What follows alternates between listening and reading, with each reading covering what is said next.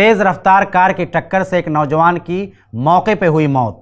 जयपुर में अजमेर रोड पर दो लड़कियाँ 100 की स्पीड से ऑडी नाम की कार चला रही थीं।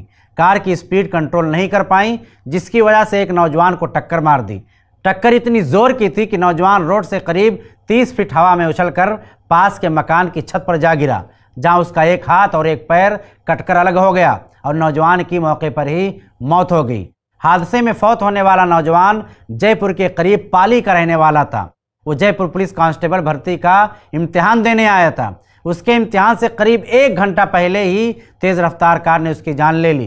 टाइम्स ऑफ़ इंडिया 2019 की एक रिपोर्ट के मुताबिक साल में एक्सीडेंट से डेढ़ लाख से ज़्यादा लोगों की मौत हुई है।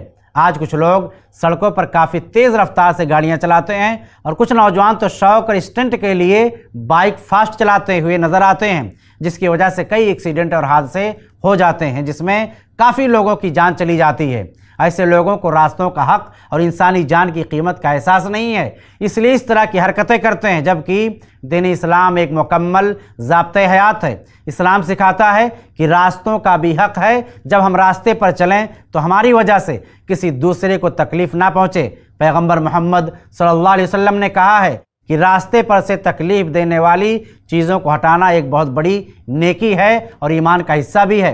अगर किसी इंसान का एक्सीडेंट में या गलती से जान चली जाए तो इस्लाम ऐसे वक्त में जिसने गलती की, उसे मरने वाले शख्स को दियत, यानी एक बड़ी रकम देने की तालीम दी है। क्योंकि इस्लाम इंसानी जान की काफ़ी फ़िक्र करता है।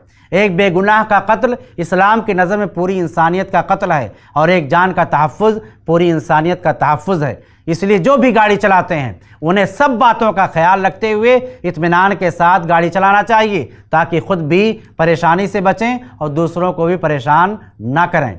ऐसे ही और वीडियोस बनाने में हमारी मदद करें।